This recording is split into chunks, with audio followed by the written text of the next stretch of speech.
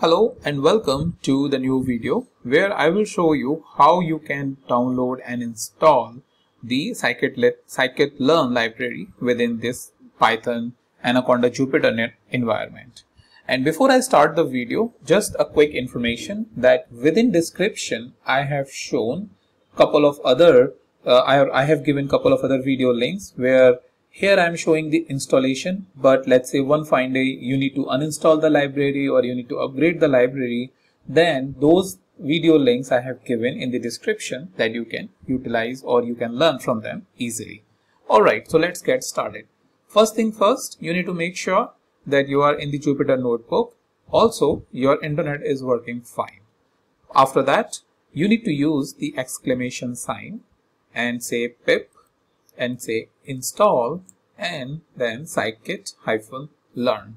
So once you have written this command, you need to press shift enter. If you are in Windows, shift enter or if you are in Mac, then shift return. It's basically the same thing in both these uh, or shift uh, return or shift enter. So now it is collecting the uh, scikit-learn, it is downloading the scikit-learn and down there installation is saying that it's successfully installed the scikit-learn library. Once you have uh, installed the library scikit-learn, you can import the scikit-learn sci scikit-learn as sklearn. So generally, scikit-learn, if you need to access its method and properties, you need to write the entire library name.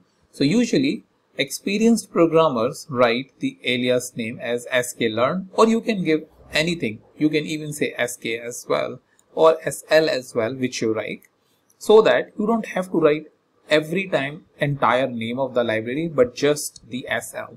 So once you do that, import, let me see what I have done wrong.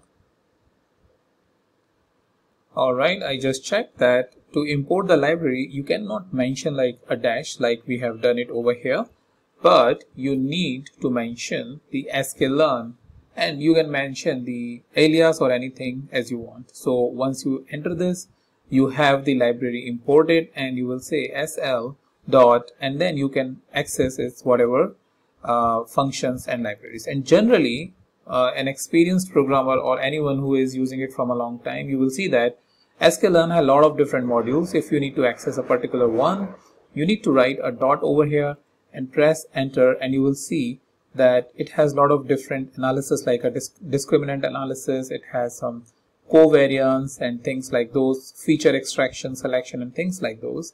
A particular module that you need to write. So generally in the machine learning you basically get the a particular type of module from here. So that's mainly i wanted to show you how you can install and then import this library. Since installation name is different and the name of the library is different so that's about it and I'll meet you in the next video with a new topic.